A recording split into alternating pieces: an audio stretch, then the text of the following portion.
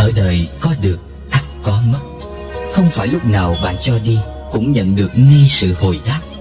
Cuộc sống luôn có cách vận hành riêng của nó. Tương lai luôn ở phía trước Chỉ cần ta mạnh chân bước tới. Hãy chấp cho mình đôi cánh tự do Bước qua những đớn đau và hệ lụy Để làm một người vui vẻ. Hãy quên đi năm tháng và tuổi tác Đừng để thời gian khiến ta trở nên già cỗi Cho dù bao nhiêu tuổi. Chỉ cần cảm thấy tinh thần còn trẻ là được. Vượt qua sự cám dỗ của danh lời, Vì chúng vốn là vật ngoài thân Và có hạn Thường ai cũng muốn mình có một chút danh tiếng, Một chút lợi lộc, Rồi tranh nhau giành lấy. Rồi khi không được như ý, Lại quay sang oán trách cuộc đời không công bằng với mình. Thật ra, Sống một cuộc đời đơn giản và bình thường Mới là hạnh phúc lớn nhất. Và bất kỳ ai cũng nên có một người bạn. Tài sản không thể làm bạn với ta cả đời, Mà bạn hữu đôi khi trở thành tài sản cả đời của ta. Tốt hơn hết là có một tri kỷ. Lúc cảm thấy lẻ loi, Có thể tìm đến nói vài ba câu. Nhưng việc có một người bạn đúng nghĩa Thật sự không hề dễ dàng, Nên xem trọng chất lượng trong kết giao bạn bè.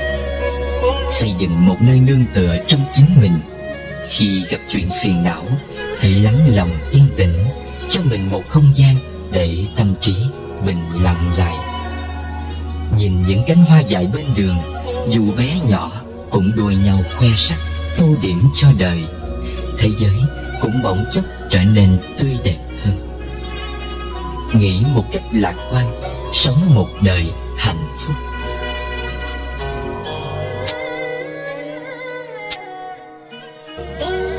một mình có thể sẽ hơi buồn.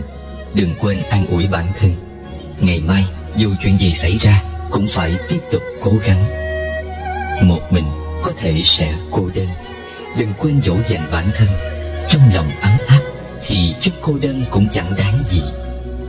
Một mình có khi thấy lẻ loi. Đừng quên nhắc nhở bản thân. Mỗi người đều có con đường cần đi. Không ai có thể đồng hành với ta suốt đời một mình, có khi thấy yếu đuối. Đừng quên cổ vũ bản thân. Chỉ cần dũng cảm hơn một chút, ta sẽ học được tính kiên cường. Một mình, có khi thấy buồn bực. Đừng quên khống chế tâm trạng để không tổn thương đến những người quan trọng quanh mình. Một mình, phải biết tự chăm sóc bản thân. Thế giới rộng lớn, người thương mình thật lòng không nhiều và không thể ở mãi bên cạnh. Nên hãy tập sống độc lập vì mình và vì người lo lắng cho mình. Con đường đang đi là do mình lựa chọn, nên dù khó khổ đến đâu cũng dặn lòng phải đi cho đến cùng. Cuộc đời không có chướng ngại nào là không thể vượt qua. Mỗi công việc đều có niềm vui riêng, như mỗi người đều có những điều cần lo lắng. Chân mỏi có thể nghĩ, lòng đau thì làm yên, tổn thương khó chịu thì ngồi xuống an ủi lấy mình. Dù thế nào, cũng không cần bày ra bộ mặt thảm thương trước bàn dân thiên hạ. Khi gặp chuyện ấm ức, hãy ngước nhìn lên cao. Trời đất bao la sẽ giúp ta dung chứa mọi muộn phiền. Vì con đường phía trước của mỗi người đều rất dài, rất nhiều đoạn phải một mình bước đi. Bởi người sanh ra bạn sẽ già yếu, người yêu thương bạn rồi cũng sẽ rời xa chỉ có bản thân bạn là phải kiên trì đến cùng. Chúng ta đến thế giới này một mình, khi kết thúc cũng một mình rời đi. Người thân và bạn bè là những lữ khách của ta trong đời này. Có người sẽ đi cùng một đoạn có người thì lâu hơn chút, nhưng rồi cũng sẽ rời xa, và ta lại phải tiếp tục một mình. Một mình tự lựa chọn con đường, tự chống đỡ mưa gió, tự đối diện tất cả các vấn đề một người vững vàng, thì dù mưa to gió lớn cũng không thể ngăn cản lối đi. Cứ vươn mình bước tới, buồn vui hờn giận tự mình cảm nhận. Ngọt bùi cay đắng, tự mình kinh qua. Một mình, quen rồi sẽ không thấy cô đơn nữa, vì cuộc sống này không có gì đáng sợ, không có gì là không thể. Hãy tin tưởng bản thân, bạn sẽ thành người mạnh mẽ. Mỗi buổi sớm mai khi mặt trời xuất hiện, Nhớ nhắc bản thân, Sống một ngày vui vẻ và ý nghĩa. Đầu tiên là cho chính mình. Trên đời, chỉ có lòng người thiên lệch Chứ không có chuyện gì là không công bằng. Không cần oán, Cũng đừng nên hận. Cứ hết mình với hiện tại, Mọi thứ lớn nhỏ Sẽ từ từ lùi vào dĩ vãng. Cuộc sống dù tàn khốc đến đâu, Bạn cũng hãy cứ kiên trì. Vì nỗ lực bao nhiêu Sẽ đạt được thành công bấy nhiêu. Khi thời gian qua đi, Nhìn lại cuộc hành trình sẽ thấy Trong biển người mênh mông, Mỗi một cuộc hội ngộ Đều là một nhân duyên tốt đẹp. Đời một người tính dài ngắn làm chi, Quan trọng là mình làm được gì Trong khoảng thời gian sống. Cuộc sống gặp ghềnh lắm, Nhớ để người bên cạnh cảm nhận chút ấm áp. Vì mỗi ngày Người còn lại bên ta sẽ một ít đi. Khoảng thời gian mình được gặp họ Cũng ngày càng ngắn lại.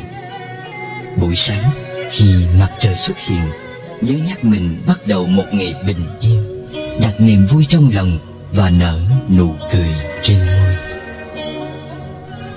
Đời người có khi cần một khoảng lặng Để lắng nghe tiếng hoa nở, ngắm nhìn sự sao động của lá cây.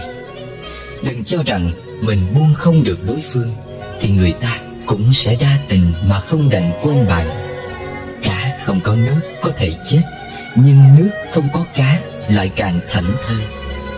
Việc cần đến sẽ đến, người muốn đi rồi cũng sẽ đi. Đừng cự tuyệt, cũng đừng níu kéo. Không cần mệt mỏi theo đuổi những người xinh đẹp, mà hãy trân trọng những ai làm cuộc sống của bạn trở nên tươi đẹp hơn. Cứ hết lòng với công việc trong một ngày, trong hiện tại thì về sau, mọi thứ đều sẽ trở thành những hồi ức đáng nhớ. Lấy tâm bình an để tiếp nhận mọi việc phát sinh. Dùng lòng khoan dung để đối đãi với những người lầm lỗi. Thì lo gì cuộc sống này không thanh nhàn, cuộc đời này không nhẹ nhõm.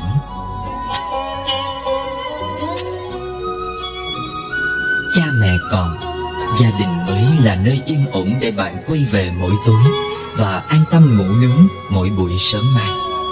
Bước vào cửa con người đã gọi tiếng cha, mẹ, thân thiết. Chúng ta mới thấy ấm áp và có cảm giác đã về nhà. Cha mẹ còn, có nghĩa là tình thân vĩnh hằng trên đời hãy còn. Sự nghiệp hay công danh thất bại có thể làm lại, nhưng Thời gian ở bên cha mẹ qua rồi Thì không thể quay đầu. Nên khi song thân còn khỏe mạnh, Hãy hết lòng chăm lo Để không phải hối hận Trong những ngày tháng sau của cuộc đời. Cha mẹ còn Tức là tuổi già xế bóng cách chúng ta còn xa, Chúng ta vẫn còn thời gian Để biến ước mơ thành hiện thực Và con đường dưới chân Vẫn còn mở ra thênh thang sáng lạng. Cha mẹ còn Chúng ta còn có người để hiếu kính, Còn nơi để quay quần con có thể làm những đứa trẻ nuôi mãi không lớn Để cảm nhận sự yêu thương vô bờ Của đấng sinh thành. Cha mẹ còn là còn gia đình, Còn tình thương, Còn chỗ để tựa nương Còn nơi để quay về.